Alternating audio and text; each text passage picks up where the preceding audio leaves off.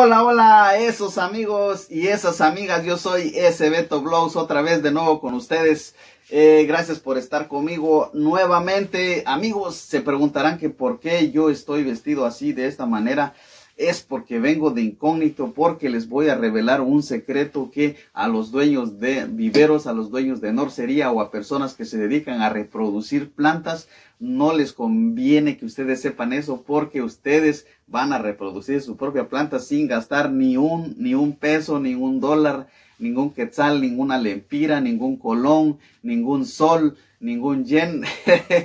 Dependiendo del país donde ustedes se encuentren, eh, no van a gastar nada, simplemente van a saber qué tipo de plantas ustedes pueden reproducir de una manera bien rapidín, bien fácil, mis amigos. Y también aprovechando que es Halloween, eh, dije pues me voy a disfrazar de un oso rojo, ya que los osos rojos no existen. Entonces voy a hacer como un oso rojo que me dice producción, oye, tú no te pareces oso, dice tú, lo que más te parece es la caperuza roja.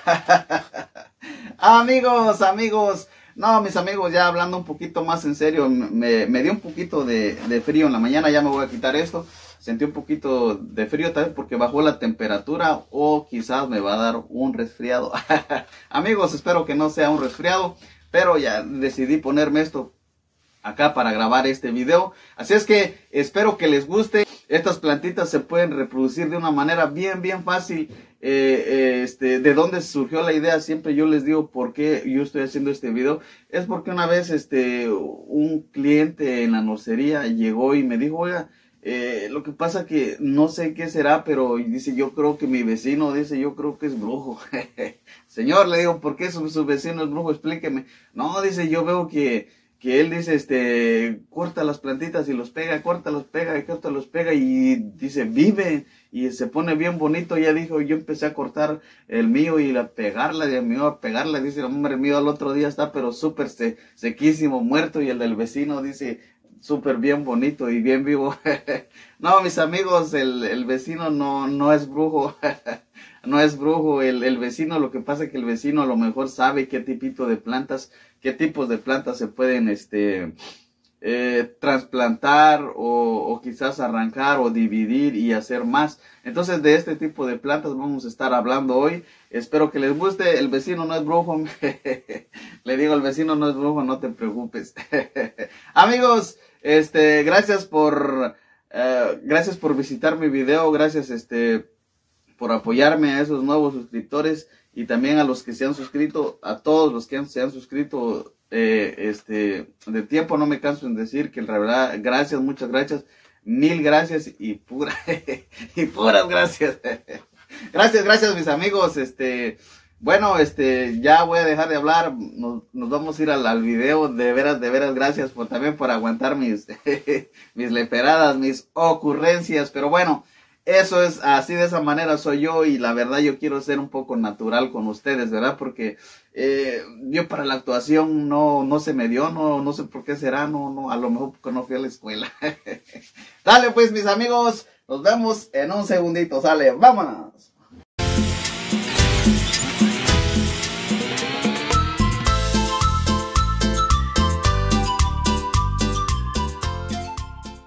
Arrancamos mis amigos hablando de la bromelia. La bromelia es una planta que tú puedes reproducir, que puedes hacer más plantitas de una manera bien fácil porque eh, la vida te la da. Eh, normalmente las bromelias eh, empiezan a salir más retoños, más hijitos, como tú le puedas llamar, alrededor. Entonces tú puedes cortarla y trasplantarla de una manera muy fácil porque como les estaba diciendo, no requiere de agua, o sea, sé que no va a haber ningún tipo de problema cuando tú vas a mover esta planta. También cuando tú veas un cierto tipo de bromelias, como esta bromelia que estamos viendo aquí en la imagen, que ya es, está de una edad adulta, por decir así, ya este, ya esta bromelia, eh, cuando tú le veas que le va a salir una flor o que le está saliendo una flor, es porque la bromelia ya llegó a su, a, su límite, por decir ya la vida de la bromelia, pues ya, ya, este, ya acabó, vamos a decir así.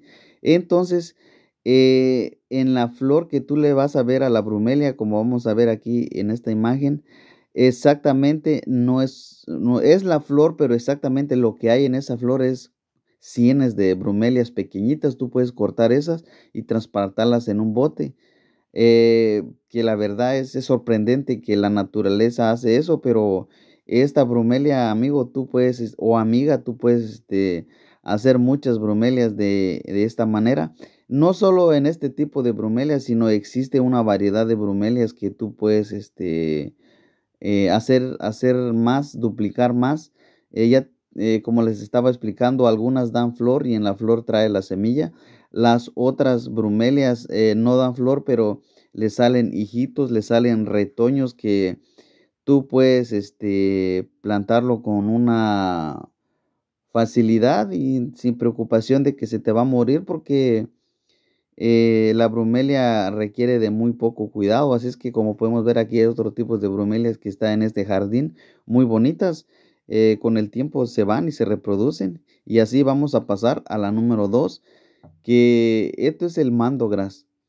Amigos, esta plantita también tú puedes plantar esta plantita, por decir así, y al lapso del tiempo de unos 4 o 5 meses, tú puedes dividir esta planta en 4 o 5 partes y volverlas a replantar y esto se también se vuelve a, reproducir, a crecer otra vez de nuevo. No, de esto no necesitas una semilla, lo único que necesitas es ir a un vivero, comprar esta plantita y si la ves que está muy grande la plantita, tú puedes dividirlas y plantarlas. Y si no, pues puedes ponerla ya cuando tú veas que ya creció, este, puedes este, dividirlas y poder hacerlas más plantitas que tú quieras. Es, es ahora sí que sin ningún costo, ¿verdad? Es sin ningún, eh, no, no vas a gastar ningún cierto de dinero, lo único que vas a gastar es tu tiempo en hacer este tipo de cosas, pero yo sé que a las personas que les gusta la planta, eh, les gusta hacer este tipo de cosas.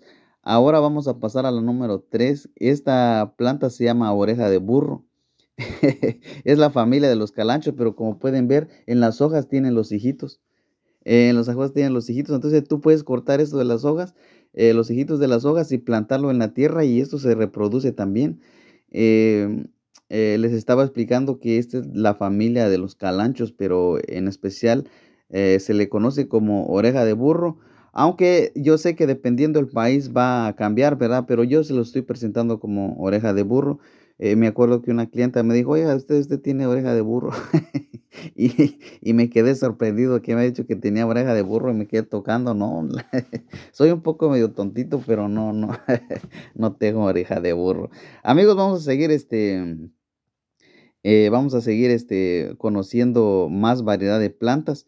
Este, vamos a pasar a esta plantita que se llama Mínima Jasmine. Esta plantita también, esta es una como guía que es como ground cover, es como que va cubriéndose en, la tierra donde tú lo pongas, ¿verdad? Con un, lo puedes hacer como en un, este, en un macetero y esto, eh, las, las guías, eh, las ramitas van creciendo y en sus ramitas tienen las raíces. Entonces, ¿qué pasa cuando tú cortas una ramita y lo pegas en el, en el suelo? automáticamente va a agarrar porque en las ramitas tienen las raíces y eso es bien fácil también de reproducir, de hacer muchas plantitas más. Esta planta se llama la mínima jasmine, es eh, de la familia de las plantas de las jasmine, ¿verdad? Pero esta es la mínima, la pequeñita, pero esta planta es, un gran cover, es, un, es una planta que si lo pones se va expandiendo, expandiendo, ¿verdad? Por eso es de que es muy fácil eh, plantar este tipo de, plantas y vuelvo y repito, sin ningún costo, ¿verdad? Eh, lo único que se va a gastar es el, dinero. También esta otra, esta otra plantita que se llama porcholaca. Este, la porcholaca, esta también se, reproduce de una manera bien fácil, es lo mismo. Eh, las ramitas, le cortas las ramitas, las pones en el suelo y no, nada, o sea, al otro día amanece como que si no le haya pasado nada. O sea, es bien facilísimo, sin ningún tipo de químicos, sin nada. Eh, esta planta normalmente viene de muchos colores, es muy bonita, muy este, buscada. Eh, como les vuelvo a decir, puede que el nombre vaya a cambiar porque dependiendo del país le llaman, tiene diferentes nombres, ¿verdad? Pero hoy yo las estoy presentando como porcholacas y Eh, es muy, pero muy, muy bonita cuando llega a su tiempo de que florece, muy, pero muy bien bonita. Vamos a pasar ahora a, conocer los agaves, como el que le estoy enseñando aquí. También cualquier tipo de agave, cualquiera, no, no solamente este tipo de clases de agave, sino cualquier tipo de agave, de agave perdón, este, se reproduce también por medio de, de retoños, de hijos, no sé cómo le podrían decir, que tú plantas la, ah, el agave en el suelo, ¿verdad? Y con el tiempo tú vas a empezar a ver más matitas chiquitas que vienen saliendo alrededor, como tú ves esto, y así tú puedes este, multiplicar los los agaves que tú quieras y, bueno, hacer más plantas, ¿verdad? Hacer, extender tu, jardín. Pero este es el tipo de plantas que, de las que yo sé que te puedes ahorrar un dinerito si, si este, encuentras esta planta o si tú un día compraste una planta, no compres más. Con este tipo de plantas este, vas, a, vas a obtener más. Eh, y no solo existe un tipo de agave, sino existe muchísimos agaves, pero eh, estoy hablando que estos se reproducen. La Sansevieria o la Snake Plant, o le dicen, se me olvidó el otro nombre, pero tiene varios nombres esta planta. Esta también se puede reproducir de una manera bien fácil.